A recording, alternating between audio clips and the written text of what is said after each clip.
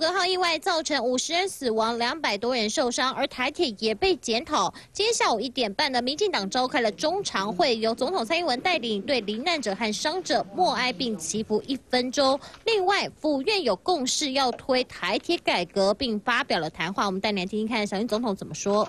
改革台铁势在必行。这几天社会针对台铁改革已经有很多的想法跟意见。包括台铁未来的经营的模式是否要公司化的问题。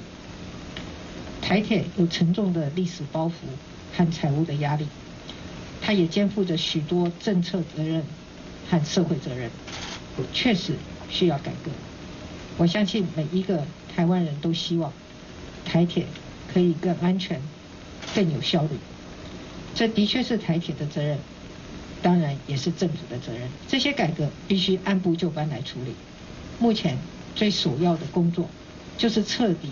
解决台铁的组织文化的问题。小英总统强调，必须从源头解决，更说革新台铁的组织文化才是根本。如果不改变营运模式，再怎么调整都无法满足社会期待。更强调，从普优马发生之后呢，一直在做内部的检讨。另外，小英总统也强调了，台湾各地的民众值得一条安全回家的路。改革台铁责无旁贷，也不用怀疑政府的改革决心。